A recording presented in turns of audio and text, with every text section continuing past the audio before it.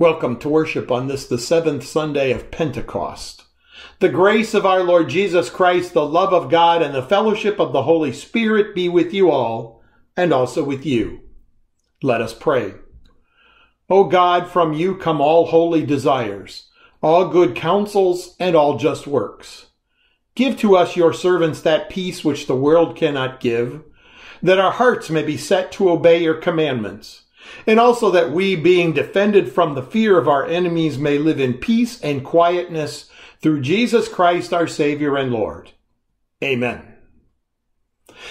For me, the, the first lesson and the gospel lesson have ties together. So I begin with sharing with you a reading from the first lesson, Amos chapter 7.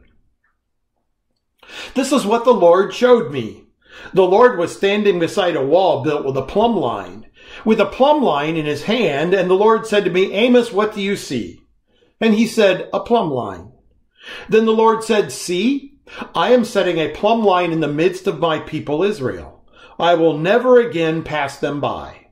The high places of Isaac shall be made desolate, and the sanctuaries of Israel shall be laid waste. And I will rise against the house of Jeroboam with the sword. Then Amaziah, the priest of Bethel, sent to King Jeroboam of Israel, saying, Amos has conspired against you in the very center of the house of Israel. The land is not able to bear all his words. For thus Amos had said, Jeroboam shall die by the sword, and Israel must go into exile away from his land.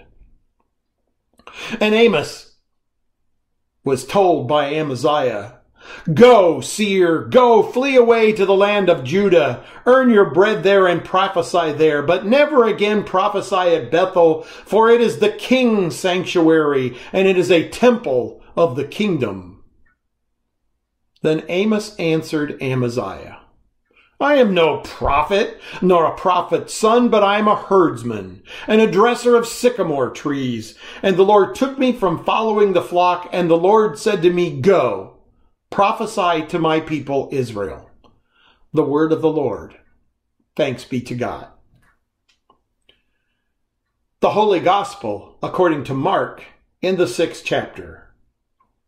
King Herod heard of the disciples preaching, for Jesus' name had become known. Some were saying John the Baptizer has been raised from the dead, and for this reason these powers are at work in him. But others said it is Elijah, and others it is a prophet like one of the prophets of old. But when Herod heard of it, he said, John, whom I beheaded, has been raised.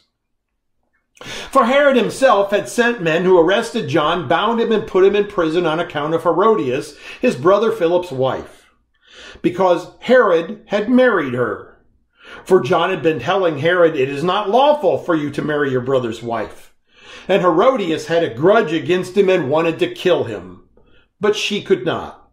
For Herod feared John, knowing that he was a righteous and holy man, and he protected him. When he heard him, he was greatly perplexed, and yet he listened to him. But an opportunity came when Herod, on his birthday, gave a banquet for his courtiers and officers and the leaders of Galilee.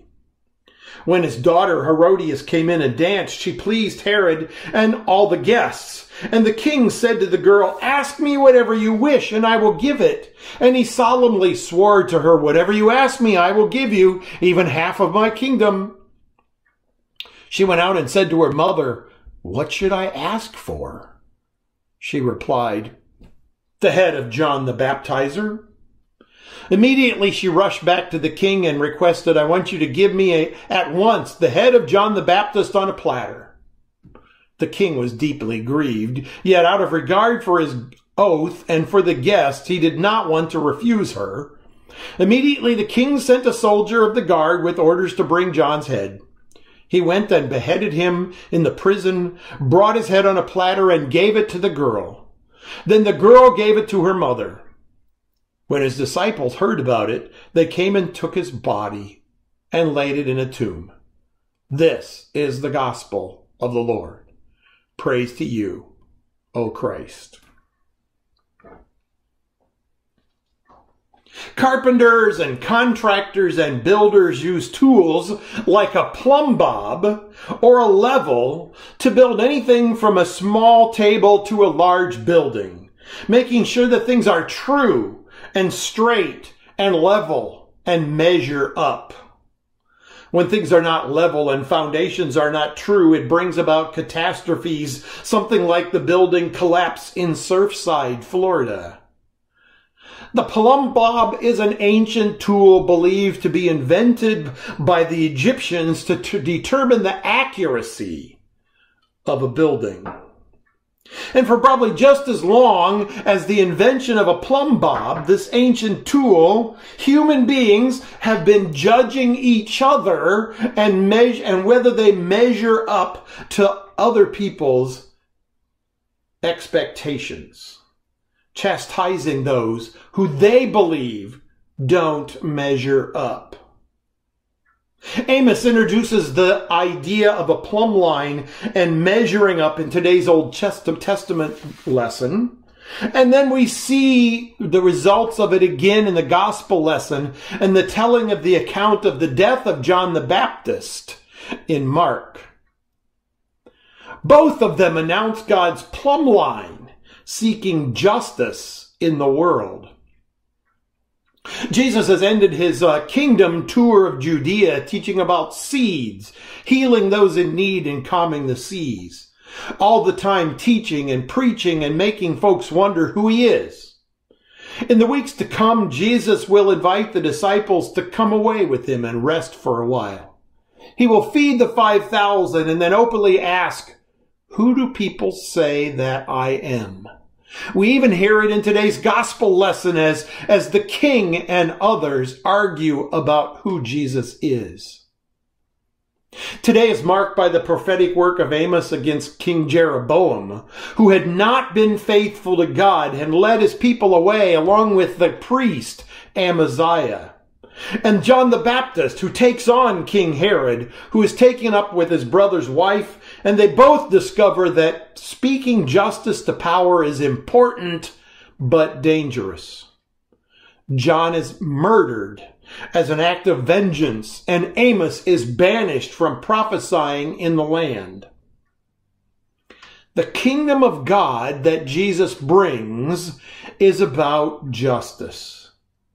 There is injust, injustice when those in power, kings like Herod and Jeroboam, use their power to judge others and use their plumb line against others and don't use it on themselves.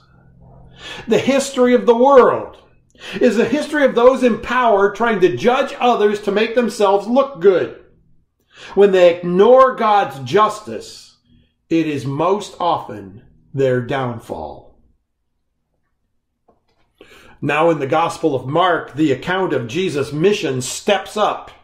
Now the powers of the world struggle against God's kingdom, and it's not with the spirits or illness or wind or sea or seeds. It is kings and powers. It is Jesus' message of grace and justice and care for all coming headlong into the collision with money, power, and influence of the world.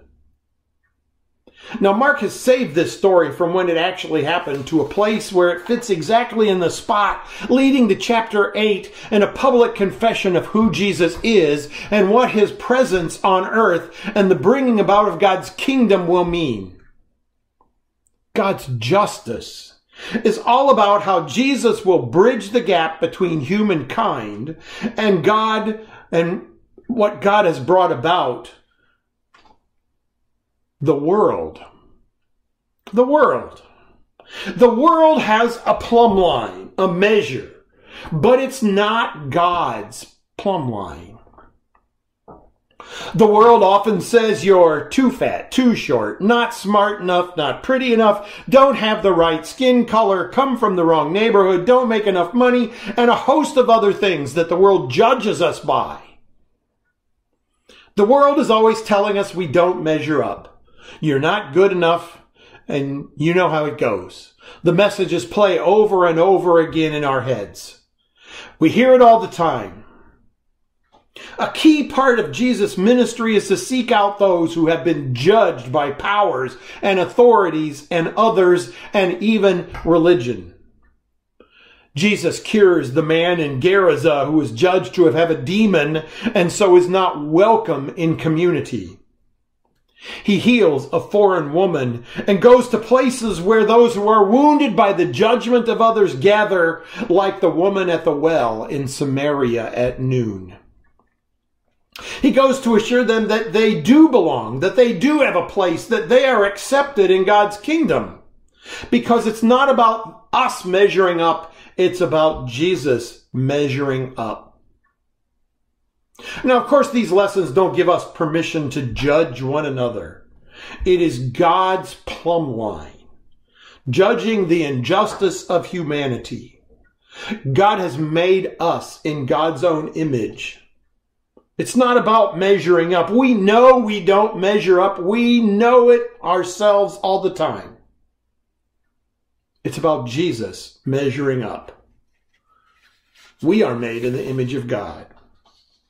Amos' response to Amaziah the priest is that I'm only a herdsman and dresser of trees. These words of justice come from God, not me.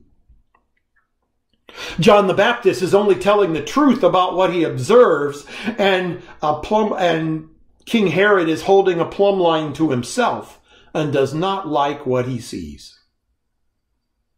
Our world is overrun with folks who keep trying to measure us and tell us how to live and be.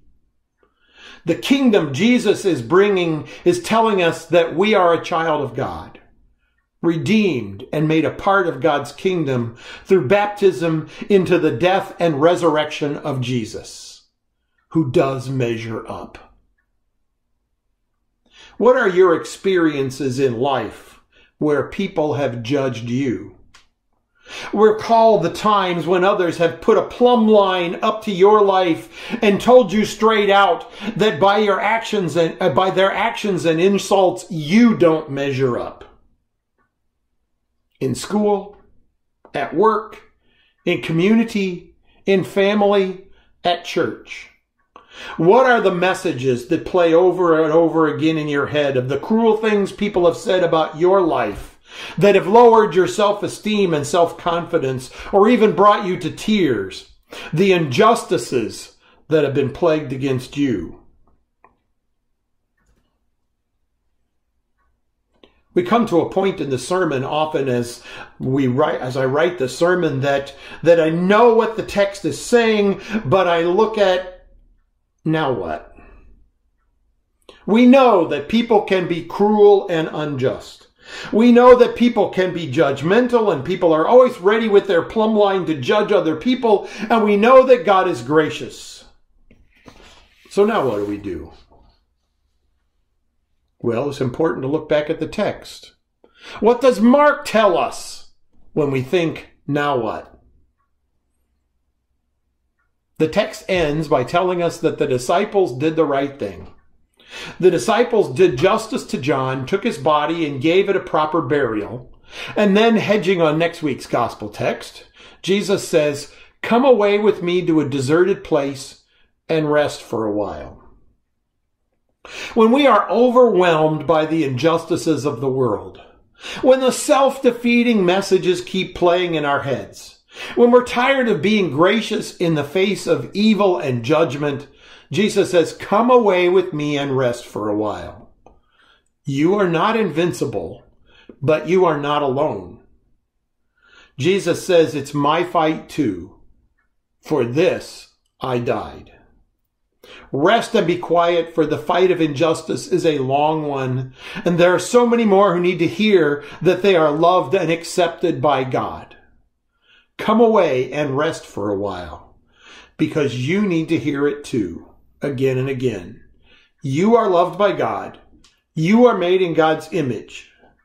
I cannot say it better than one of my favorite Bible verses from Isaiah chapter 43. Do not fear, I have redeemed you. I have called you by name. You are mine. When you pass through the waters, I will be with you, and through the rivers, they shall not overwhelm you. When you walk through fire, you shall not be burned, and the flame shall not consume you. For I am the Lord your God, the Holy One of Israel, your Savior. Keep working against the world's plumb line. Pay attention to God's plumb line, working for justice for all. And don't forget to rest. Rest for a while, because the journey is long and the work needs to be done. Amen.